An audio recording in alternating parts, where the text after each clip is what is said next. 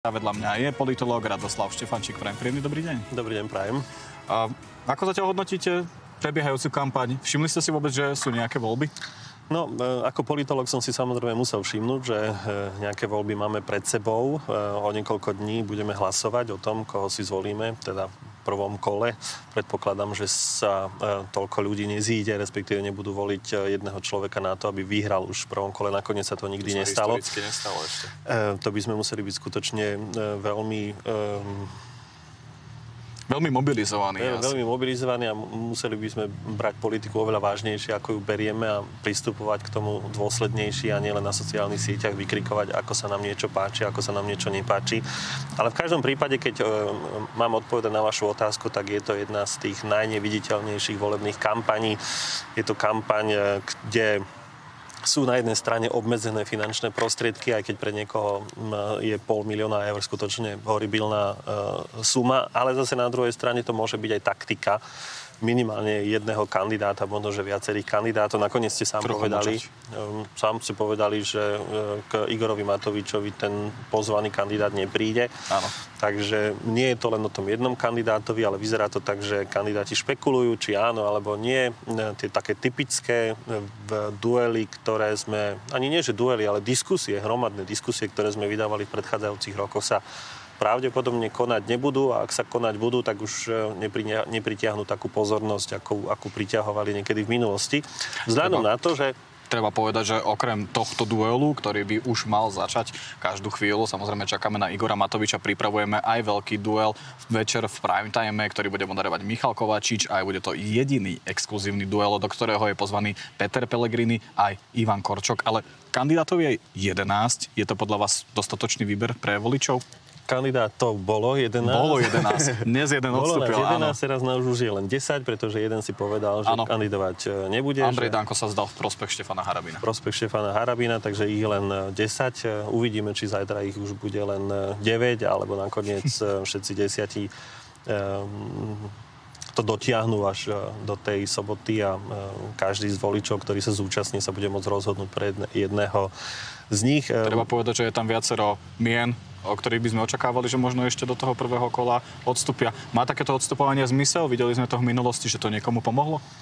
Myslím si, že keď pán Mistrík odstúpil eh, v prospech pani Čaputovej, tak to bolo dosť rozhodujúci eh, faktor jej eh, víťazstva. Takže áno, na jednej strane to pomáha. E, dokonca si pamätám, ani nie v prezidentských voľbách, ale v parlamentných voľbách, keď e, pán Kaník odstúpil, alebo teda jeho strana odstúpila v prospech SDKU a nakoniec SDKU dosiahla e, také slušné číslo vo voľbách, že mohla vytvoriť vládu spoločne s ďalšími stredopravicovými subjektmi a pán Kaník možno, že ako na odmenu sa stal e, ministrom, ak sa nemýlim, sociálnych vecí, ministrom práce a sociálnych vecí. Takže e, má to no. zmysel, má to zmysel. Len otázne je, že či e, to, čo sme dnes videli, pána Harabina, ktorý avizoval aj nejaké svoje vlastné výskumy verejnej mienky, ktoré sa majú pohybovať úplne na inej úrovni, tradične ako tie, ktoré poznáme z, z renomovaných agentúr, z renomovaných agentúr tak Myslím si, že ak niekto mm, pridá pol 1%, tak ehm, to zase až taký veľký výsledok neurobi. Ja len pripomínam, že my stále čakáme na Igora Matoviča, ktorý je pozvaný do predvolebnej debaty na televízii Markíza. Podľa posledných informácií by mal prísť približne o 10 minút. My ho samozrejme vyspovedáme aj pri jeho príchode. Zostaňte zatiaľ s nami. Medzi kandidátmi nie nie je tentokrát žiadna žena, pritom Zuzana Čaputová bola minimálne zo začiatku, ale aj ku, ku koncu svojho mandátu veľmi populárna. Čím si to vysvetľujete? No, e, vyzerá to tak, že politika sa stala opäť e, mužskou záležitosťou minimálne, čo sa týka tejto funkcie. E, ja keď sa pozriem na niektoré štáty, tak oni už niekedy pred 30 rokmi riešili rodovú rovnosť v politike, ale vyzerá to tak, že Slovensko sa vrátilo mílovými krokmi niekde, niekde dozadu a tento faktor je veľmi smutným, smutnou vizitkou slovenskej politiky. Je to dôkazom aj je toho... Je to neustálými útokmi? Môže byť, e, ale zase na druhej strane však vieme, že aj ženy si vedia povedať svoje slovo. Mali sme e, tej 30-ročnej histórii e, vývoja slovenskej demokracie aj také ženy, ktoré si dokázali buchnúť pesťou o stôl a možno, že by ten stôl aj rozbili, keby, keby poriadne udreli. Takže, ale myslím si, že je to aj kvôli tomu, že politické strany si neplnia svoju funkciu a síce, že nehľadajú politické talenty, že nevychovávajú okrem iného aj ženy do funkcií E, bez ohľadu na to, o ktorej funkcii hovoríme. Takže myslím si, že v tomto prípade e, sú za tým aj, e, práve je za tým aj tá činnosť politických strán a síce nie je úplne schopnosť vyprodukovať dostatok lídrov na to, aby boli schopní obsadiť nielen verejné, nielen všetky verejné funkcie, ale zároveň, aby aj ten e, rodový aspekt bol zohľadnený minimálne na takej úrovni, ako, ako ju poznáme zo západoeurópskych demokracií. My stále samozrejme čakáme na Igora Matoviča, ktorý je stále v kolóne. Mal by prísť už o niekoľko minút. Ako môžete vidieť sami na svojich obrazovkách, v Bratislave je naozaj katastrofálna situácia. No ale so všetkými kandidátmi robila Martina Tereková taký špeciálny seriál do televíznych novín a teraz sa môžeme k nemu na chvíľu vrátiť. Igor Matovič zobral Martinu Terekovú na svoje obľúbené miesto podhrať Devín. Igor Matovič do poslednej chvíle špekuloval, kde by sme asi tak mohli natáčať, na akom mieste, ktorého nejakým spôsobom vystihuje. Napokon pár hodín pred nakrúcaním vyslal signál, že to bude v Bratislave pod Devínom. To takto málo nemeškal, ja ani nepamätám. Roky. No jasné, vstup len na vlastné riziko. To vlastne kvôli nenamontovali. Takže idem podstúpiť to riziko až spolu dobre, s vami. No. A to prečo? Že čo niečo na nás môže padnúť? Nie, asi áno. Prečo sa stretávame teda tu? Tak chceli ste, že najobľúbenejšie miesto. A to priznávam, že toto moje najobľúbenejšie miesto nie je. To asi mám tak ako väčšina z nás doma. Ideme k bráne Slobody. Pamätník venovaný pádu železnej opony? Myslím, že toto je politicky zaujímavejšie miesto, lebo toto uh, miesto pre mňa evokuje jeden krásny taký symbol. Sloboda nás niečo stála, že sú tu rany, ale podľa mňa strašne veľa ľudí sa pozerá z druhej strany na tú slobodu. A teda tak poďte so mnou a pozrieme sa na ňu, jak to vyzerá z druhej strany.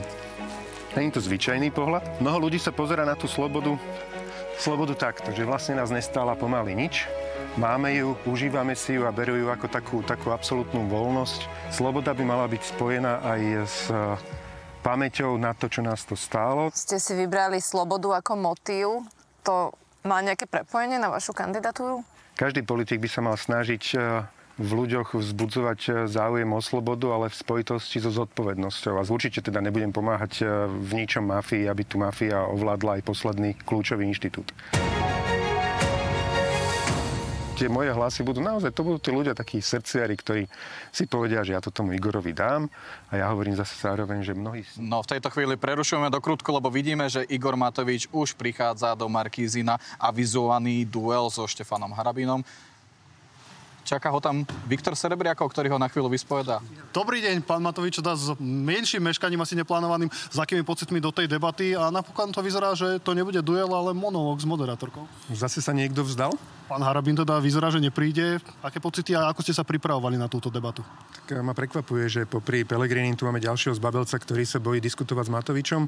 Pripravovať ja sa príliš nepripravujem. Chalani mi síce dali do ruky 4 papieriky, ale ja si myslím, že keď raz to máte tuto v srdci, tak netreba sa príliš pripravovať. Slúbovali ste nejakú atomovku, nesiete si dnes do štúdia? Uh, k vám nie, určite. Najlepšia atomovka bola rozviazať ruky čestným vyšetrovateľom a na, do smrti budem na hrdý. Ďakujem pekne, pustím vás už do štúdia ku kolegyni. Fora, páči sa, tade to. Tade je to do štúdia, tade je to najkračšie.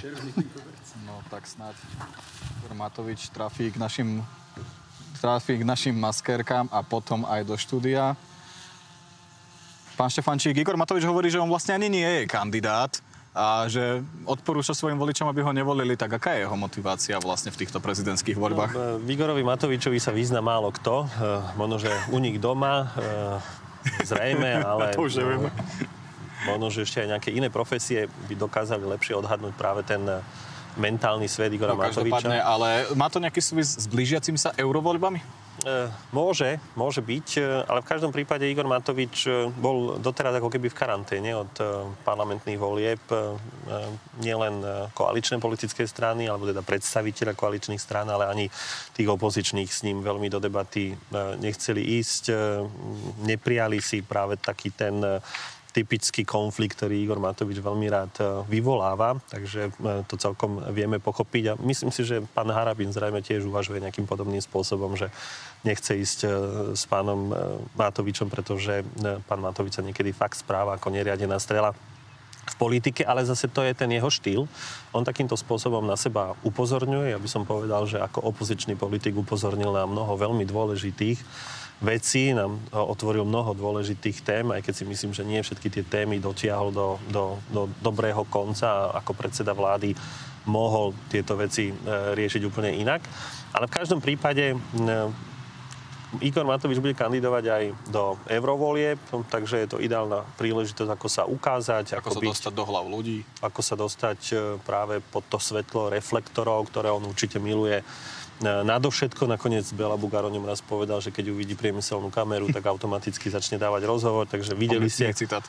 On je, uh, on je nadšený, keď uh, opäť na neho svieti a myslím si, že v tom štúdiu bude cítiť už vidíme, ako, ako že doma. sa svieti na neho on aj si to dokonca štúdiu. tam uh, rediguje, no, že ako no, to má byť. s akými novinkami Igor Matovič príde, pretože naposledy, keď bol s Michalom Kovačičom, avizoval, že má pripravené aj nejaké pikantérie. Ja pripomeniem, že večer nás čaká ešte exkluzívny duel aj lídrov prieskumu v rovnakom štúdiu, ako je Igor Matovič, bude debatovať aj Ivan Korčok a príde aj Peter Pellegrini. Pán Štefančík, majú tieto debaty ešte tú silu? Vedia nejakým spôsobom kandidáti zmeniť svoje preferencie? No ja si pamätám na iné obdobie, keď neboli sociálne siete, keď nebol taký prístup k internetu. To znamená, že politici nemali inú možnosť, ako sa dostať do hlav ľudí len tak, že prídu práve do týchto debát a ukážu, čo v nich je ale dnes e, sú sociálne siete práve tou možnosťou alebo práve tým médium, kde, kde nie sú moderátori pretože moderátori sú nepríjemní, pretože dávajú otvorené otázky, dávajú otázky často aj nepríjemné, pretože sa týkajú aj vecí, ktoré... Treba dodať, že to je úloha novinárov. To je úloha, to je podstatná, pretože každé médium, respektíve médiá sú v každej demokracii práve tým strážnym psom demokracie a to je veľmi dôležité a toto sa niektorým politikom nepáči a možno, že práve preto sa vyhýbajú takýmto debatám, aby náhodou sa ich neopýtali na niečo, čo im je mimoriadne nepríjemné a keď sa pozrieme na to, tak vlastne v takýchto diskusiách odhalíme, že aký je ten človek ako osobnosť, že buď to zvládne úplne s nadhľadom, prizná, niektoré veci prizná chyby, alebo sa na vás e, osopí, že, mm, že je jednoducho e, z toho taký vykoľajený, že sa prestane ovládať.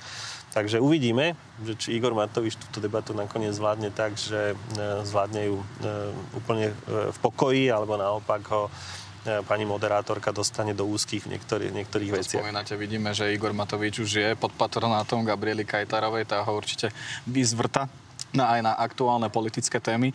Príjemný podvečer sledujete druhú prezidentskú debatu na Markíze. Vďaka diskusii môžeme lepšie spoznať kandidátov v cieľovej rovinke pred prvým kolom volieb. Televízia Markíza pozvala 6 najsilnejších kandidátov, ktorých rozdelila do duelov.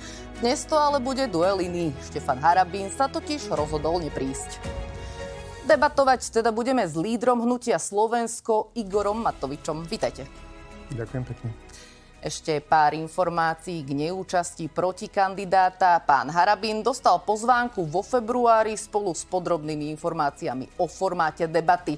Účasť opakovane potvrdil. Zmenilo sa to počas víkendu, keď televíziu Markíza na sociálnej sieti obvinil, že ho vopred neinformovala o zložení duelu.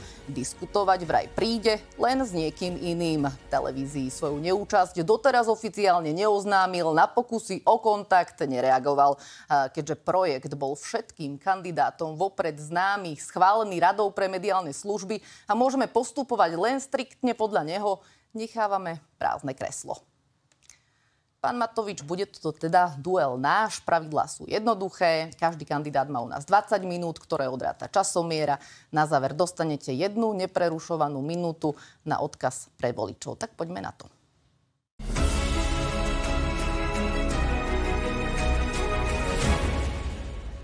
Takže pán Matovič, keďže nemáte žiaden program, ani teda nevediete žiadnu poriadnu kampaň, bude to síce náročné, ale nejako to spolu skúsime. Uh, vy teda tvrdíte, že nekandidujete, nebudete hlasovať ani sám za seba, tak skúste teraz všetkým svojim priaznivcom a potenciálnym voličom povedať, že či by vás mali voliť. Prepačte mi, pani Kajtárova, keď na začiatok eh, si dovolím a vôbec to neberte, to nie je vôbec útok proti vám, vôbec si nemyslím, že vy ste eh, rozhodovali o tom, že ktorý duel alebo ktorá táto debata sa v akom vysielacom čase bude vysielať, ale Jednoducho niekto v tejto televízii zásadným spôsobom manipuluje priebeh predvolebnej Matovič, kampane. ja vás zastavím. E, Tento projekt bol písaný naozaj niekoľko týždňov až mesiacov predtým, ako bolo jasné, ako budú vôbec rozdelené e, preferencie hlasov. Takže toto vôbec nie je pravda, čo hovoríte. Zároveň táto relácia sme v čase televíznych novín, ktoré chodia o 17. a máva 100 tisíce videní divákov, plus vysielame na webe, takže môžete sa pokojne upokojiť táto relácia určite bude mať 100 tisíce videní, takže e, Nemáte sa na čo stiažovať vzhľadom na vaše preferencie, presne podľa projektu, ktorý sme poslali.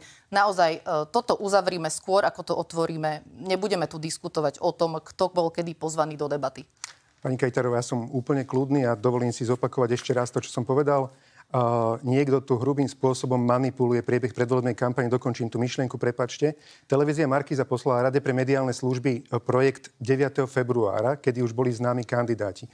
Zároveň neposlala vtedy konkrétne časy, ktorým dvojicám... My Môžem sme v prezidentskej myšlienku? debate, nevyberáme dramaturga dô... televíznych relácií. Uh, naozaj, toto by som rada ukončila popierame, že by sa takéto niečo Prepačte, stalo. Samozrejme, Kajterová... žiadne zasahovanie do volieb tu nehrozí. Takže ja by som bola rada, keby sme viedli debatu o vás a nie o našej televízii. Dobre, pani Kajterová, skúsim dokončiť teda tú myšlienku. Prepačte mi to. Prvej dvojici ste dali mimoriadne lukratívny vysielací čas v čase hlavného vysielacieho času, kedy všetci ľudia sú doma. Mne ste dali s Harabinom čas, kedy ľudia idú z práce, kedy to nikto nepozerá. A zároveň včera ste Dobre, dali 5. a 6. v poradí opäť čas v Dobre, pán Matovič, Každý pokojne človek, ste mohli viesť každý mohli ste človek... viesť kampaň, mohli ste sa naozaj zapojiť seriózne do, do toho predvolebného duelu.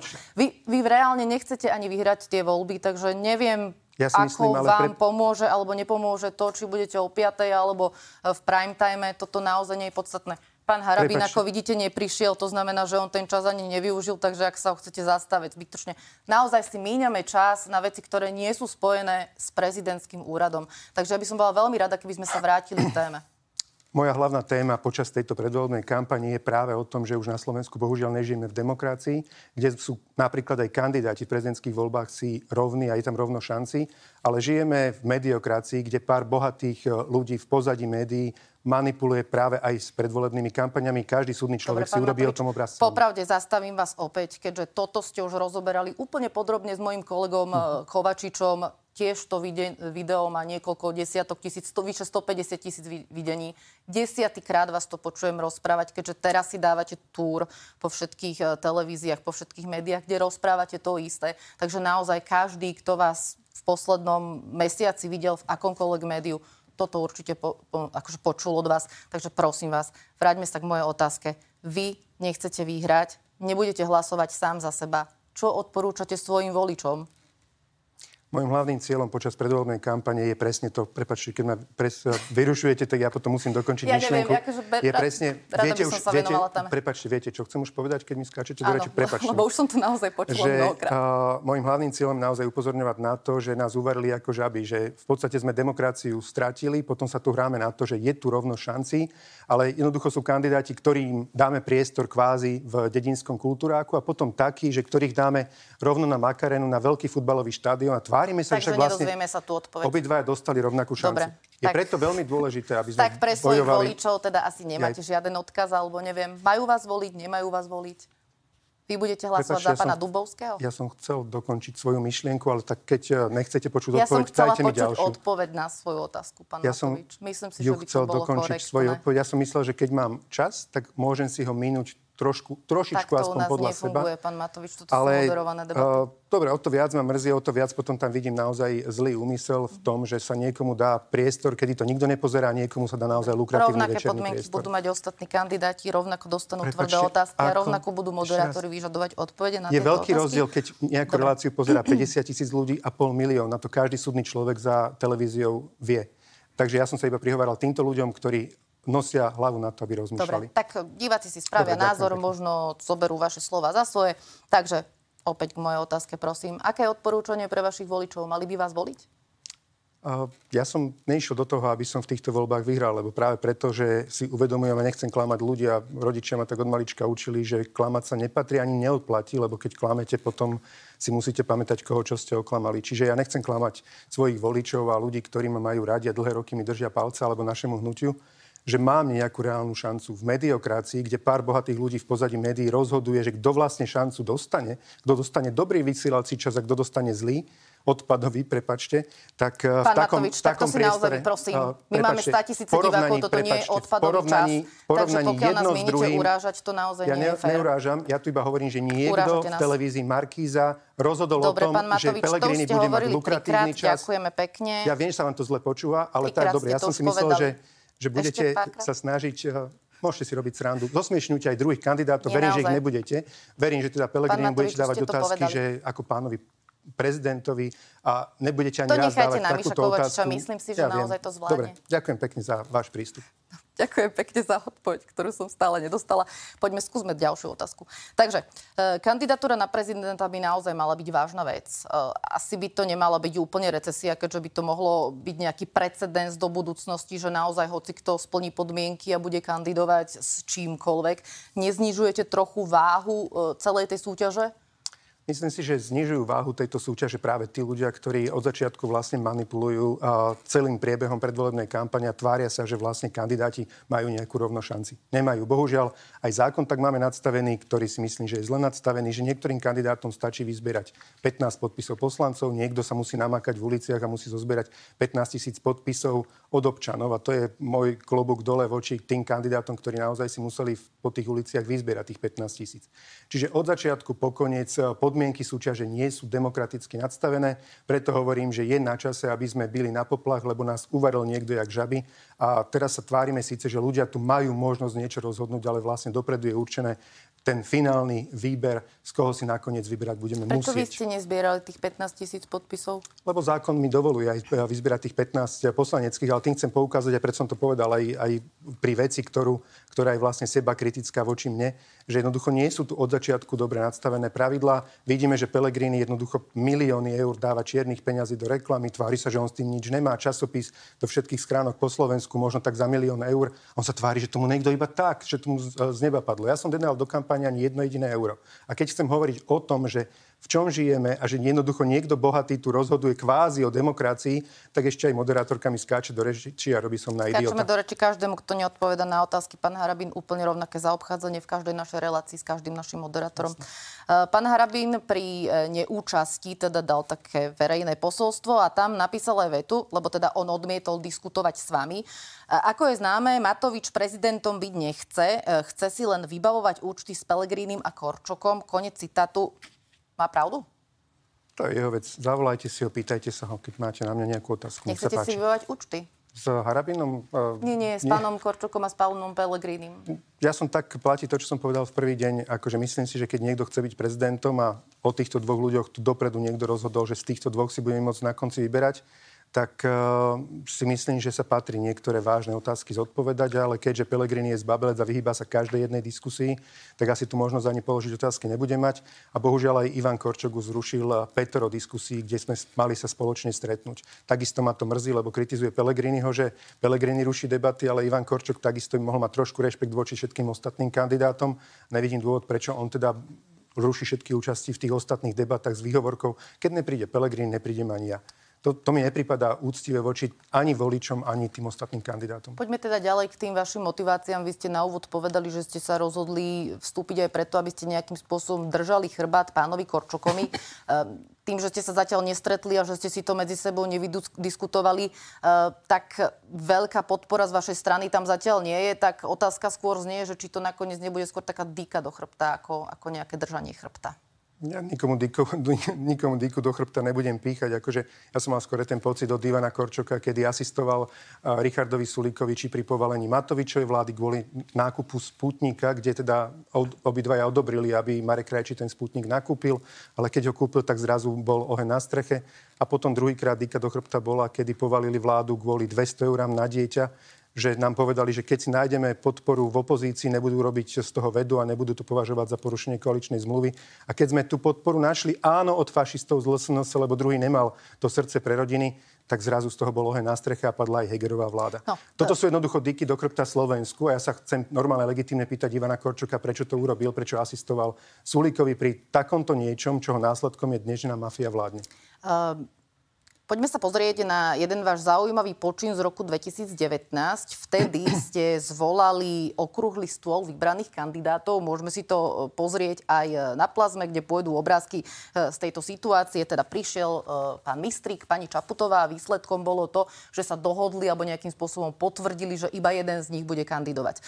A Neskôr sa teda pán Mistrik vzdal, pani Čaputová vyhrala voľby a vy ste to vlastne interpretovali aj spôsobom, že k tomu veľmi pomohol práve tento okrúhly stôl. Takže otázka znie, že prečo ste sa nevybrali takouto mekšou cestou, že spravíte obed, nejaké halušky, tam sa nejako dohodnete s pánom Korčokom a potom to odprezentujete. Prečo, prečo idete takýmto Vy, pani redaktorka, vy veľmi dobre viete, aký rozdiel v tej situácii a teraz. A ten argument hlavný, prečo, bol, prečo sme zvolali v tej ten okrúhly stôl, kde sa vlastne prvýkrát Mistrík a Čaputová stretli a kde sme vlastne sa spoločne s nimi dohodli, že nakoniec do prvého kola pôjde iba jeden. A ten argument bol to, že reálne hrozilo podľa preferencií, že v prvom kole môže vyhrať Ševčík, eh, Ševčo, Ševčovič. Ševčovič a Harabin. A tomuto sme chceli zabrániť. Samozrejme, ja si pamätám tú situáciu a asi mnohí diváci si to pamätajú, ale nepýtam sa na ten obsah, pýtam sa na tú formu, že ste to spravili mekšou formou. Pozvali ste si ich na halušky, tam ste sa dohodli za zatvorenými dverami a potom ste to prezentovali na vonok.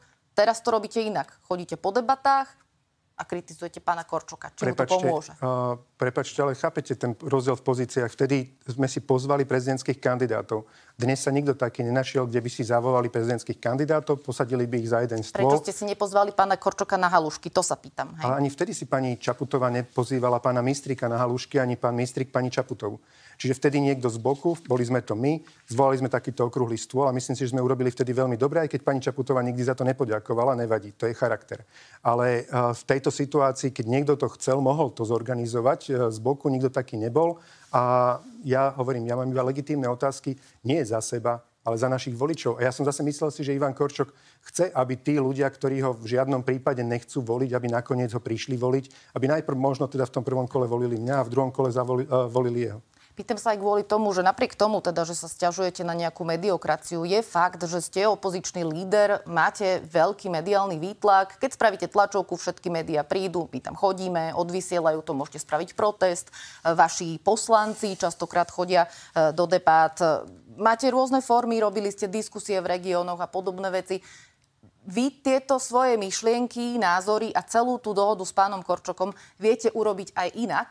Nemuseli ste kvôli tomu kandidovať.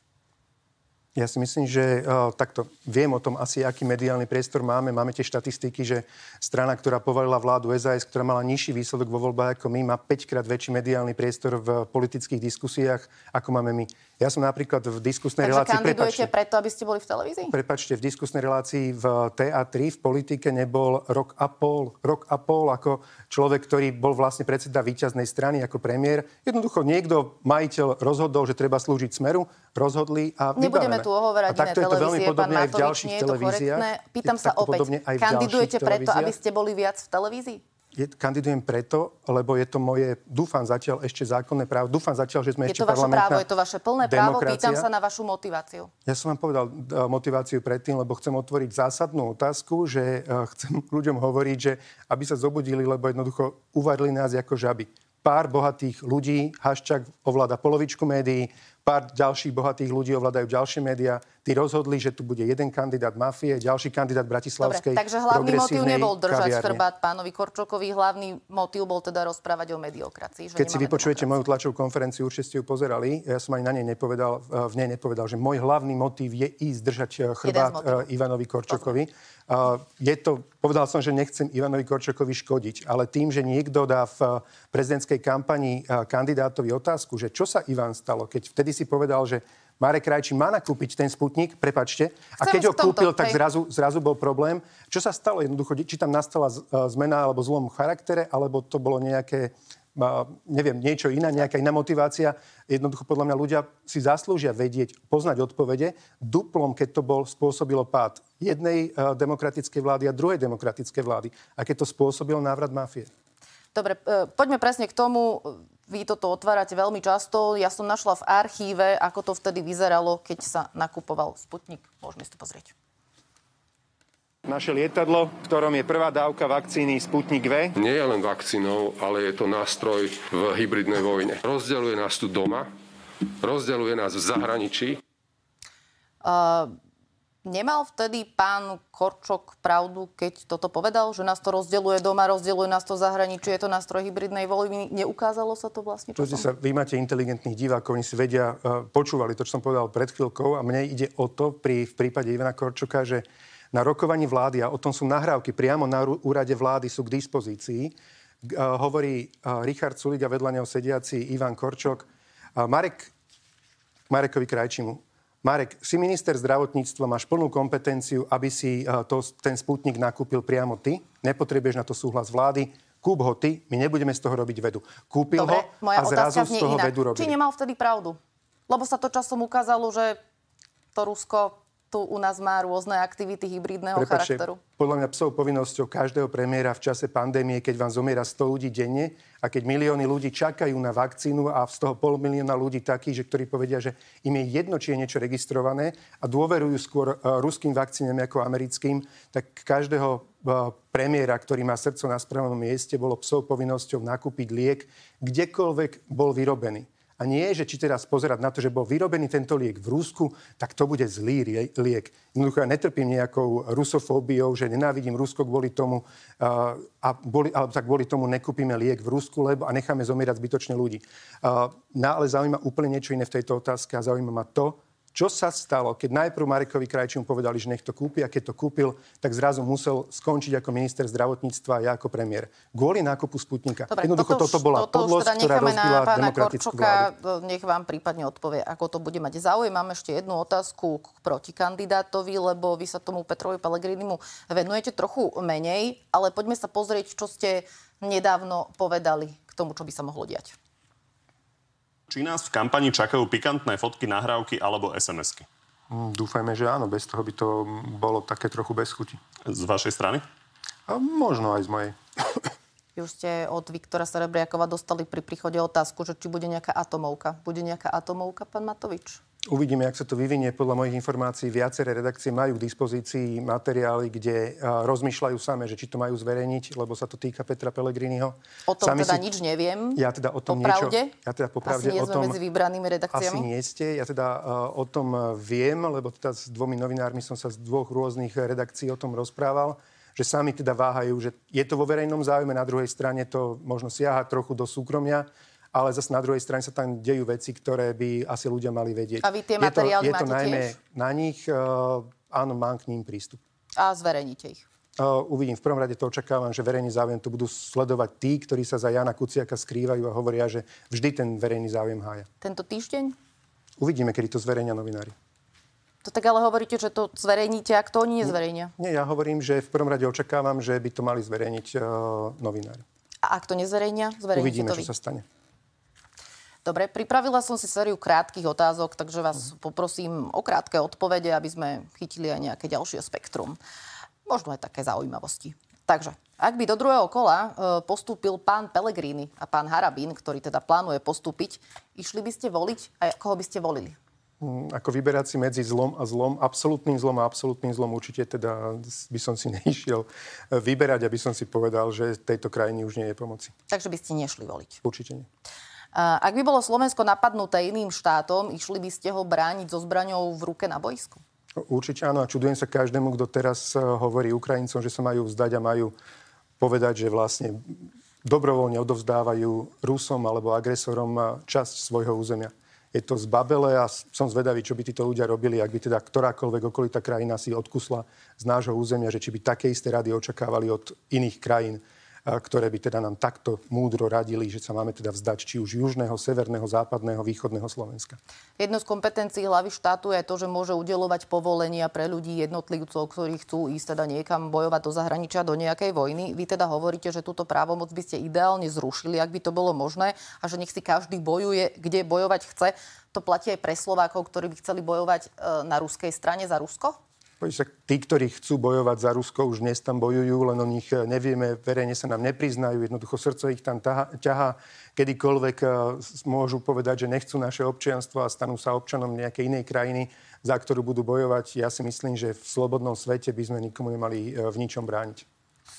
Uh... Ako myslím v takýchto otázkach. Samozrejme, inde tie pravidlá by platiť mali a odtiaľ potiaľ a nerobiť z mužov ženy a zo žien mužov. Napríklad. To nebola úplne tá otázka. Dobre. To bola ale odpoveď. Uh, jednou z takých veľkých vecí, ktorú ktorá patrí medzi kompetencie prezidentského úradu, je teda aj nejaké zahranično-politické ukotvenie Slovenska, keďže prezident má v tomto veľké slovo. U vás je jasný ten proukrajinský postoj. Um, Často kritizujete napríklad to, že Európska únia nedodala Ukrajine tú muníciu, ktorá slúbila čisto teoreticky, ak by sa Francúzi nakoniec rozhodli, že by poslali vojakov na Ukrajinu, vnímali by ste to ako eskaláciu konfliktu? Obávam sa, že by to bola eskalácia konfliktu. V prvom rade by som bol veľmi rád, aby Európska únia v prvom rade si splnila to, čo slúbila Ukrajine, že im dodá milión nábojov delostreleckých do roka. Ukrajinci kvôli tomu začali vo väčšom používať náboj, lebo verili slovám Európskej únie a zrazu sme ich nechali v štychu, dodali sme iba 300 tisíc nábojov. A tým pádom si myslím, že Ukrajina, keď aj dnes e, na niektorých úsekoch prehráva ten zápas, tak prehráva práve preto, že niekto mocný nedodržal svoj verejný slub. A toto sme my dlžní, lebo jednoducho oni e, dávajú svoj život aj za našu slobodu. Ak sa Rusovi podarí dobiť Ukrajinu, je to len otázka času, kedy zaklope aj na naše dvere. Keď ale hovoríte, že by to bola eskalácia, bolo by to vhodné teda spraviť? Boli by ste za? Uh, hovorím, v prvom rade by sme mali splniť to čo, to, čo sme slúbili, dodávať dostatok zbraní, nábojov a potom sa Ukrajinci ubrania aj sami. Ale keď im jednoducho tie náboje nedáme, tak logicky, keď budú bojovať s gumipuškami, tak ich tam budú kosiť so svojimi zbraniami Rusy. Ak by mali Ukrajinci dostatok nábojov, aj tie, ktoré im slúbila Európska únia, tak by nestratili možno to územie, ktoré v posledných mesiacoch stratili. Opäť sa spýtam, lebo utekáte od tej otázky. Máme novú hlavu štátu, ktokoľvek to bude, Francúzi alebo ktorý, ktorákoľvek iná krajina individuálne spraví toto rozhodnutie, Poliaci, Balti, ktokoľvek. Čo čakáte od prezidenta Slovenskej republiky, že na to povie? Uh, myslím si, že bude to kritizovať každý. Aby som to kritizoval takisto prezidentom, ale nebudem. Uh, Slováci nemajú čo robiť na Ukrajine, nemajú tam čo bojovať, máme ich maximálne pomáhať, uh, oni sa už ubránia, len teda hovorím tretíkrát to, že v prvom rade bolo treba splniť to, čo sme im slúbili. Lebo keď sa vojak na boisku dozvie, že mu niekto dodá zbranie, tak, tak s tým počíta. A keď zrazu tie zbranie nedá, tak nemá, tak potom práve utrpí porážku, ako bohužiaľ aj Ukrajinci za posledné mesiace utrpeli. Pokiaľ ide o tých slovenských vojakov, to môže byť ešte čisto náhodne téma teda prezidentských debát. Samozrejme, prezident nemá túto právomoc vysielať slovenských vojakov na Ukrajinu alebo do, na akékoľvek iné boisko. Môže ale povedať názor. Aký názor by mala mať hlava štátu v bode, keď teda vláda odmieta, že by tam akýkoľvek slovenský vojak išiel? Tak som povedal predtým, že predpokladám, že by to odsúdili. Nemyslím si, osobne si nemyslím, že by Slováci mali ísť bojovať. Na druhej strane, keď sa Emmanuel Macron tak rozhodne a urobí to, bude to iba čisto jeho rozhodnutie, ktoré my môžeme z boku komentovať, ale nemáme šancu tomu žiadnym spôsobom zabrániť. Rovnako aj keď Poliaci možno v strachu o svoju vlastnú krajinu sa rozhodnú vyslať svojich vojakov na Ukrajinu, my to môžeme akokoľvek komentovať, odsúdiť, čokoľvek, neovplyvníme ich rozhodnutie duplom, keď dnes vidíme, že v Európe nás považujú za zradcov, kolaborantov. Vysolujú sa tak Emmanuel Macron alebo aj premiér Fiala o Robertovi Ficovi že, vynášajú, že vynáša informácie, tajné informácie z rokovaní Európskej rady, premiérov a prezidentov členských krajín Európskej únie. To je obrovská hamba a myslím si, že od Mečiara, alebo čo aj Mečiar sa nechytá na Fica, čo dnes on pácha. Lebo v čase vojny, v čase ohrozenia nášho spoločného európskeho priestoru agresorom Putinom vynášať tajné informácie Rusom, tak to už teda je iný zločin, iná vlasti zrada. Vieme, že slovenská verejnosť veľmi počúva na slovo mier. Napríklad aj pán Harabín hovorí, že on je prezidentom mieru. Aj vláda e, skôr propaguje teda, alebo prezentuje, že by sa malo rokovať o miery. Nerobí e, slovenská opozícia chybu, ak nehovorí viac o miery? Tak možno každý hovoríme tak, ako si myslíme, že aký, ako sú na tom inteligenčne postavení uh, naši voliči, alebo diváci, alebo čitatelia a podobne. Každý sa prihovára možno svojmu publiku. Ja svojich voličov nepodceňujem a, a viem, že uh, to, čo hovoríme, alebo že je automatické, že každý z nás túži po miery. Ale je veľký rozdiel, keď niekomu poviete, že tak, teda Rusi si ukradli čas z Ukrajiny, mali by teraz vyhlásiť mier. Vyhlásiť teraz mier znamená kapituláciu, ak teda Rusi neodídu z Ukrajiny a to nemá nič spoločné s mierom. To je ako, že to je vlastne tak, jak na začiatku som mal tú tému, že sa tvárime, že sme si rovní v šanciach predvolebnej kampane, ale niekomu dáme ten dedinský kultúrák a niekomu futbalový štadión a tvárime sa, že sme dali obidvom rovnaký priestor. Nie, v tomto prípade to nie je mier, to je prinútenie niekomu, aby sa dobrovoľne vzdal svojho územia a podpísal zmluvu, ešte sa mu to vlastne páči a už odtedy budú platiť nové hranice. Ja si predstavujem mier tak, že okupant odíde z územia, ktoré to sa ale obsadil. evidentne nedieje.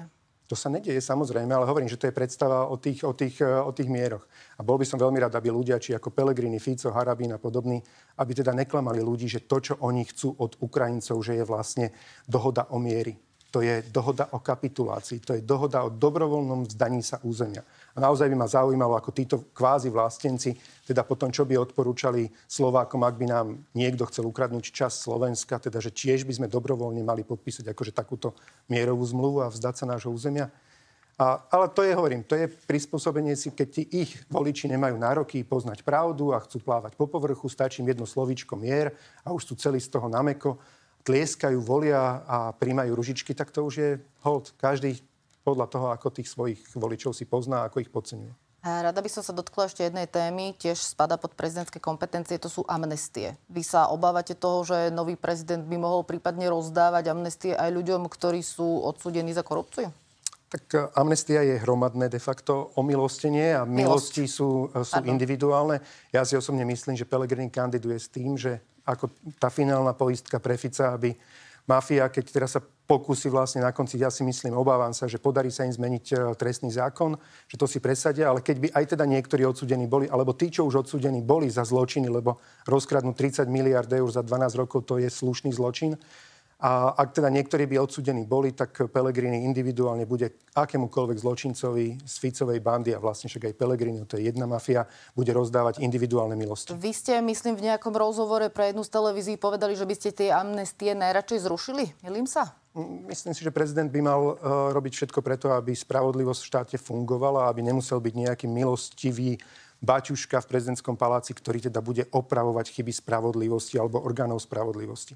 Čiže ak by všetko fungovalo normálne, aj teda prvostupnový súd, odvolací súd a máme zabezpečené tu spravodlivé súdnictvo, tak nepotrebuje nikto dávať špeciálne milosti. A toto by malo byť prioritnou úlohou prezidenta, nie potom sa individuálne zaliečať niekomu alebo odvďačiť sa mafiánom za to, že teda im tu financovali napríklad túto predvolebnú kampaň. Navrhnete zrušenie tejto možnosti? Môžem navrhnúť čokoľvek, ale na to potrebujete ústavnú väčšinu a myslím si, že taká vola sa nenájde a ja som veľmi rád, že sa mi takto pred rokom podarilo napríklad teda pri zmene ústavy presadiť ochranu nášho volebného systému, lebo dnes by sme mali už aj definitívne zmenený volebný systém a už by sme najbližších možno 30 rokov nemali de facto ani inú vládu, alebo nemali by sme ani len šancu mať inú vládu. Ale aj vtedy ma kritizovali za túto atomovku, s čím to zase Matovič prišiel, že takúto hovadinu ide presadzovať do ústavy. A nakoniec sme veľmi, podľa mňa všetci zistili, tí, ktorí si uvedomujú, že čo by hrozilo, že ako dobre, že sa mi to podarilo presadiť do ústavy. Vy ste teda pôvodne hovorili, že e, nebudete kandidovať za prezidenta. Doslova ste povedali, že od 1 do 10 je šanca minus 5. Teraz ste teda tu. Potom ste hovorili, že nebudete kandidovať do Európarlamentu. Kandidujete. Tiež ste povedali, že do Bruselu nepôjdete, lebo citujem, by ste tam umreli, je to sterilné prostredie. Ani to už teda neplatí. Pán Matovič, akú váhu majú vlastne vaše slova a predikcie? To si každý môže porovnať, že či tieto banality, uh, alebo naozaj tie vážne veci, keď som povedal napríklad... To je banalita, prepačte, kandidatúra? Toto sú, áno, to sú banality, lebo každý ktorý teda hovorím, že nenosí hlavu na okrasu, tak vie, prečo kandidujem a vie, že od začiatku kandidujem s tým, že áno, ja som povedal, že možno budem mať 3% eh, podpory, ale nejde mi o to, aby som vyhral voľby v nedemokratickej súťaži, lebo to sa jednoducho nedá. Takže ľudia rozumejú, prečo kandidujem, som im sa im to snažil vysvetliť, takisto aj v tých eurovoľbách. A mnoho dôležitejšie je to, že či som dodržal slovo pri tom, že keď eh, sme vo voľbách 2020 eh, chceli vyhrať a chceli sme poraziť mafiu a slúbil som, že rozviažeme ruky vyšetrovateľom, aby mohli konečne spravodlivo ísť každému pokrku bez ohľadu na to, ako je mocný.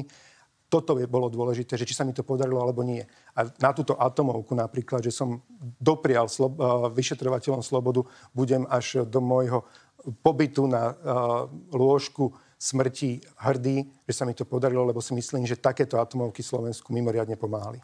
Už nemáme veľa času, ale teda záverečná otázka. Ešte sa opäť vrátim k tomu pánovi Korčokovi, teda, že či on teda môže dôverovať vašim slovám, že ak vám teda zodpovie všetky tie otázky, ktoré na ňo máte a vysvetlí veci, ktoré od neho chcete vysvetliť, tak ho naozaj v tej kampani nejakým spôsobom uh, podporíte a budete mu teda kryť chrbát.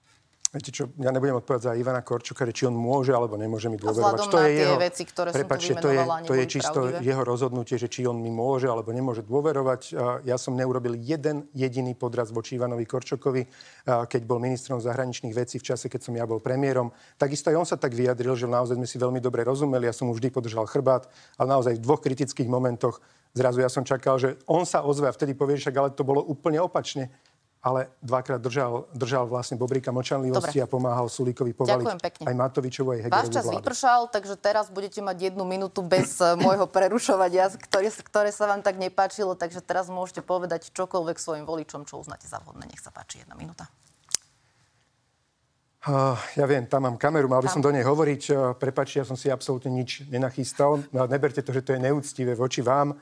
Voľte prosím vás v tomto kole úplne slobodne. Nenechajte si nahovoriť, e, tak ako sa snažili progresívci pred parlamentnými voľbami ľuďom nahovoriť, že jediná šanca poraziť mafiu je vtedy, keď bude mať progresívne Slovensko viacej hlasov ako smer. Ukázalo sa to, že presný opak bol pravdou. Práve vtedy mali progresívci a ich novinári v médiách ukázať takú veľkosť a vyzvať ľudí, aby napríklad volili demokratov a vysvetliť ľuďom, že keď demokrati neprejdú, tak vlastne nakoniec nám tu bude vládnuť mafia. Ja som to hovoril, ale ja som bol zablázna a oni sa tvárili, že majú pravdu. Čiže voľte prosím vás v tomto prvom kole srdcom, lebo prvé kolo je o tom, že môžete voliť srdcom. Ja som si vedomý toho, že nemám šancu postúpiť do druhého kola, ale je to možno príležitosť pre vás, ľudí, ktorí mi rozumiete, ktorí viete, že sme zažívali mimoriadne ťažké obdobie, ale podarilo sa nám kopať dobrých vecí so všetkými nepriateľmi proti nám, tak uh, ďakujem za váš hlas a potom v druhom kole voľte už podľa rozumu. Ďakujem pekne. Tak pán Matovič, ďakujem, ďakujem, že ste prišli do našej relácie. Ďakujem pekne za pozvanie.